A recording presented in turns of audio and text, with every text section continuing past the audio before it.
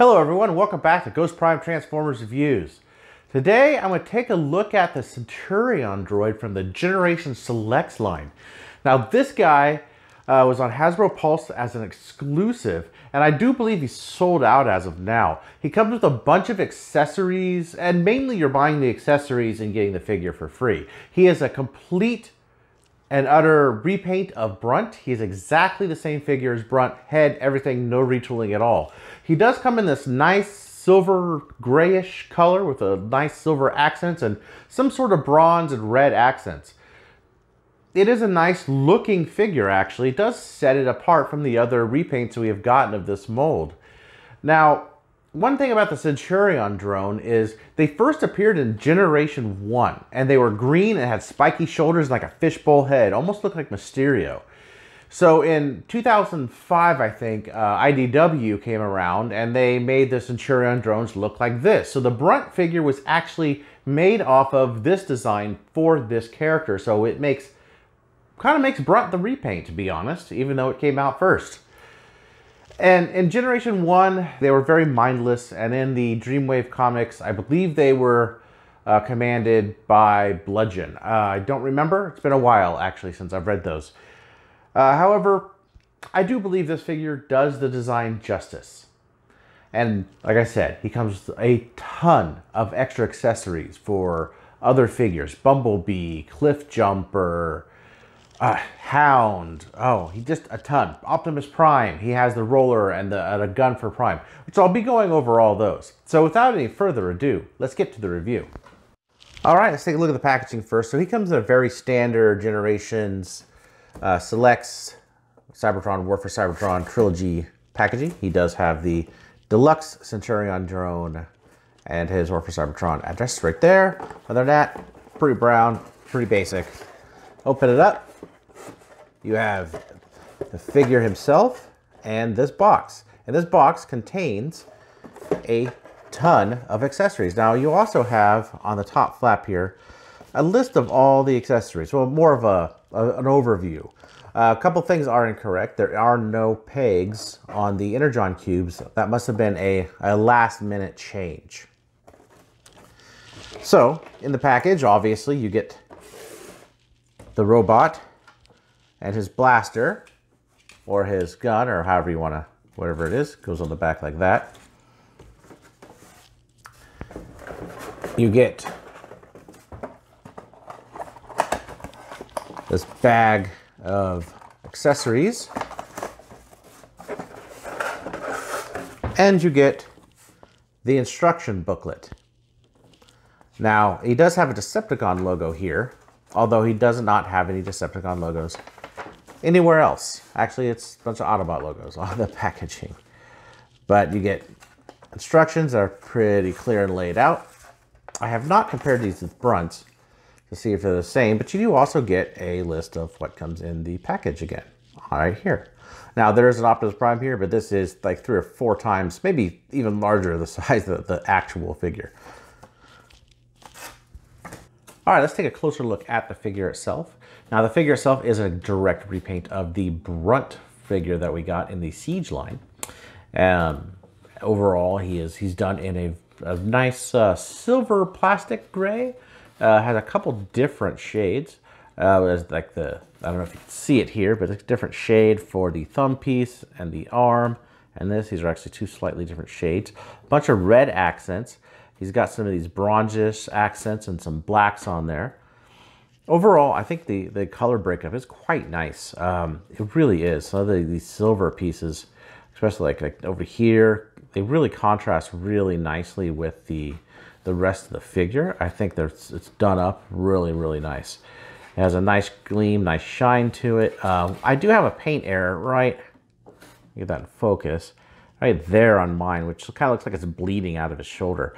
But overall, he's not too bad. Uh, for uh, some comparison real quick, here he is with Siege Brunt. They are, as you can see, exactly the same, same head and everything. Here he is with the Drill Dasher character. Uh, transformation and everything is exactly the same. Articulation is exactly the same. His uh, elbows go like this. He does have a 360 at the, the, the bicep, thumb, in and out. Rotate the arms, 360 at the head, 360 at the waist, leg out to here, back, forward, knee goes 90, and he has the thigh swivels and ankle rotations. And of course, he's a weaponizer. He could do all the same things as Brunt and the other figures. So I'm not going to go through that. Please watch my, my, my other review of Brunt if you'd like to see the transformation, how these pieces come apart. So for now, I'm just going to skip to his vehicle mode. And there he is in tank mode. You see his little head poking up. Again, how the colors look. Very nice in uh, this mode. And he rolls really well. I have to say that there's been no noticeable mold degradation. Everything's really tight. Even when you snap the legs in here, very, very tight on this. Rotation still. Still is, still is really nice. Rolls really, really well. Now, of course, what everyone wants wanted to get into, what everyone's interested in here, of course, is the weapons pack. Now they do come bagged all together like this in a baggie. Mine did not have any tape on it and they're just loose, loose in there. So let's dump these out. Hopefully not losing the little prime and take a look at them. All right, and in this box you get Optimus Prime's battle axe. Now he does have his, just putting it to his hand right there. It's a little sharp. It's actually made of hard plastic. Usually these things are rubberized, but I guess maybe you can't because it's it's clear. I don't know, little scratch there. Oh, nope, just a little piece of plastic. First time I've dumped all these out. So yeah, looks pretty nice, shiny, hard plastic. You also get Optimus Prime's roller that he did not come with on the leader class figure. You get a much larger gun for Optimus Prime, just massive gun. Which can't attach roller, but looks ridiculous. You get a Shockwave or Shackwave figure because he's gray. Now this could have done with some paint. I really think that this would have been really nice in a nice purple and they so could have done it. I don't know why they did not. They did paint this because it, and it was cast in gray. So they could have painted that. You get Megatron, which has a painted handle and a painted scope. Where did it go? Oh, it got away from me. You also have his silencer piece, which let's see if I could, it's so tiny camera doesn't want to focus on it. There you go. And that goes right onto the end, like so. And has a little nub at the end for blast effects. Two Energon cubes, which are hollow on one side and looks like you have one that's being filled up. It'd be real nice to uh, be able to have a guy hold these because this is where the, the peg would have been. Bumblebee's blaster, Blaster for Cliff Jumper. Sideswipe or Optimus Prime's, it's really Sideswipes, but Optimus Prime wore it too. Uh, his backpack is Jetpack. Also would be nice to have this painted red. Trailbreakers radar dish. A tiny, tiny Soundwave. A small reflector teensy, teensy, teensy, teensy, teensy prime. All right, look at that though. It's actually got a lot of really, really nice details. See if I get my camera focused on it. Really nice detail on that guy. For being so tiny. And you get this right here, which is a, this goes to uh, Ironhide. And last, but not least, this is Megatron's mace. And now it would be nice if this were an actual chain, but instead it's solid and there is a little Decepticon logo right there and it too, like the axe slides into the hand. Now for the cage, right here that Ravage is supposed to go in, it does split apart. So you could put Ravage in it and cage him up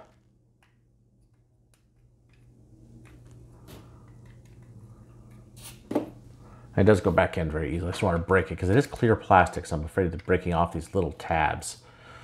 It's hard to do on camera, but you can see it's done in like this. I don't know if you could tell, but yeah, there you go. Like a trans, little translucent, uh, smoked gray plastic. Uh, and, or maybe paint. Actually, it looks like it's clear and painted that way. Painted all the way around.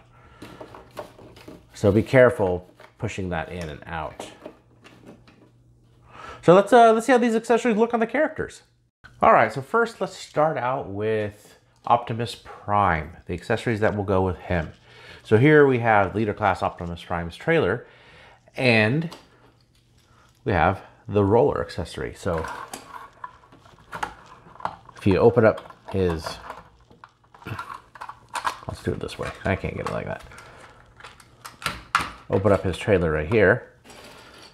You have roller. And roller fits in here really well, really nicely. Uh, there's this little uh, little peg right there on the bed, and there's a little hole right there on the bottom of roller, and that will just there, kind of not it fits over the top of it, not too snug, um, but it fits over the top of it. If I could get it to work, there we go. So it doesn't fall out really. But that goes that goes there. And yeah, you know, that completes it, which it, it was definitely needed. Absolutely needed. Also, you could have the trailer roller pull the trailer. So I'm really glad they added this roller accessory. It's really cool. Uh, it's very fun that they finally put it in there. Uh, that, that's a very enjoyable thing. Now you also have his ion blaster. That replaces his old one. So let's take a look at the two side by side.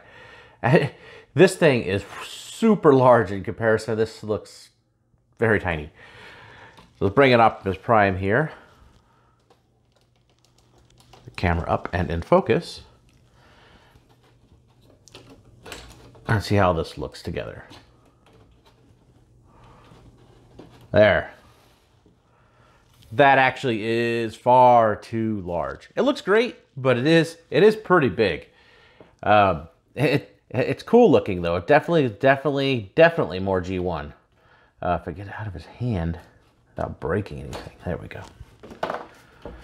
And then, of course, he also has his Energon axe. And that could go up on over his fist like so. And that looks cool. That looks really nice from at least one side. Uh, from the outside, from the inside you can see the fist. It would be nice maybe they put it on the bottom, but they did not. Um, but okay, so overall, uh, it's neat. It's neat. So together, that's kind of nice. Kind of moving on just a little bit here. Let's take the trailer out. I don't have Sideswipe, but I do have the uh, Red Alert figure here, which is the same mold. So you have the Sideswipes jetpack here, and there's a peg on the back that's supposed to peg into here. So we go like this, and push that on, and you can see the shape is exactly there, and that fits quite nice. Also, in the episode that this was from, he gave it to Optimus Prime. Now let's see how this thing looks on the Prime figure. Again, he has a a peg right here, and there's another peg on top, so you can fit it just like that on Optimus Prime, and it fits really nicely over here. Really nice and snug. It's, it's on there very well as that falls off. But yeah, this is really cool. All right, moving on to the, the gun, uh, Megatron gun here. Now we all know who this is for. Here's how he looks being wielded by Starscream. That actually looks very cool. I really like that. That looks super nice on Starscream. Let's move on to the Megatron's mace here. Uh, here is Earthrise Megatron with the mace. Uh, now the mace, so you see the Decepticon logo comes facing out. It does not fit on the other side of the fist, this, this piece here. It is designed so this part here covers the inside of his fist and his outside of the fist is open like that. It still fits in very, very tightly though, so be careful which direction because it could get stuck in there and you don't want to break this on the way out. But it does look pretty neat on his hand like that. Uh, I do have to admit. All right, next up we have Ironhide's drill. Ironhide is wielding his drill accessory. Now this is something that I will definitely probably keep on him or the Earthrise version. And that looks really nice. Would be nice if this was painted, painted black. This would be really, really nice. Uh, but I didn't. A lot of these things would be nice with some more paint. All right. Now we have Shockwave and Shockwave, or Shackwave, which this is definitely more appropriate for Shockwave. There we go. Here's how he looks wielding himself. Ah, that just sounds dirty, but he did it the cartoon. So there he is. All right, so now let's compare Reflector. Again, with no paint. Now, you can paint these things if you if you want to. I would uh, suggest a magnifying glass. He is hollow on the back, but he has a little peg so you could be held. As you see, he looks very close. See if I get that in focus. To this one, but he actually looks a little bit more like the Generation 1 than he does this one. All right, here he is with Megatron. Hoist using Trailbreaker's satellite dish. Here is Cliff Jumper with both pistols. Uh, his his pistol and Bumblebee. Since I don't have Bumblebee, got to show it to you here. All right, lastly, let's uh, take a look at a couple of the last remaining bits here. Uh, you can see Prime is holding a little version of himself. It's like he's got the toy in his hand. So that's how big that, that little Prime is in comparison to this leader class Prime figure. And then we have Soundwave here. He's holding Soundwave because this Soundwave is hollow in the back and he's able to hold it because he does have grips. Now, you couldn't hold this Soundwave otherwise. You just kind of have to set it on your shelf. Kind of a bummer there, but, you know, it's not too bad. Same with the, uh, the Energon cubes. Now, if you have a Transformer figure that is that has, you know, uh, finger grips, then you could probably, you know, put it on like that. And there is a hole here where there should have been a place to hold it. I think it is cool that they, they have the little filling like it's like it's being filled on one of them. The other one's just either probably looks like it's full. But these are these are very cool. I wish Soundwave could actually hold them really well. Um, it'd be really neat to see maybe display Soundwave with them and it's like coming out of his chest. I think that'd be a really cool way to display it. But overall, I think this is a pretty decent set. Um, so for some final thoughts on it, so yeah, this guy's pretty cool. I definitely like the accessory pack he comes with. It doesn't does enhance the figures a bit. I do wish there was a lot more paint on them. The paint work on this was actually fairly nice and the color break breakup was way nicer than I expected. The downside is it's very expensive to troop build if you could even find this anymore. And then you're left with just a ton of extra accessories that some of really only go to certain figures and you can't really add them to other figures without it looking sort of off. However, I do enjoy this. And I think overall it's good. I wouldn't have minded a different figure with the accessory pack rather than him so you could do the troop building aspect. And weaponizers are always fun. You can't have too many of them. So please hit that thumbs up button if you like this video, the down vote button if you have to, subscribe. I'll see you guys next time very soon.